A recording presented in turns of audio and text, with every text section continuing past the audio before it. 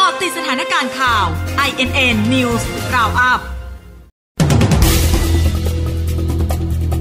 8นาฬิกา 12 นาที กรุงเทพโพเผยประชาชนฟันธงความโลภทำให้คนตกเป็นเหยื่อแชร์ลูกโซ่ เพราะหวังได้รับผลตอบแทนสูง ได้เงินไวเพราะรายได้ในปัจจุบันไม่เพียงพอ ต้องการอาชีพเสริมเพิ่มรายได้ 8นาฬิกา 29 นาที กระทรวงพาณิชย์เผยราคาสินค้าวันนี้ส่วนใหญ่ทรงตัวเมื่อเทียบกับวันก่อนหน้า เนื้อหมูราคากิโลกรัมละ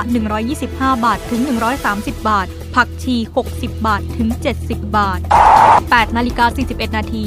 ดาวโจนปิดบวกจากข้อมูลเศรษฐกิจในประเทศ ดัชนี PMI ภาคการผลิต พฤศจิกายนแตะ 52.2 สูงสุดในรอบ 7 เดือน ล่าสุด 8 นาฬิกา 50 นาทีปทุมธานีพลตำรวจโทคำรณวิทย์ผู้บัญชาการตำรวจนครบาลปล่อยคาวราวานเรลลี่ นักกฎหมายตั้งกองทุนเพื่อนช่วยเพื่อน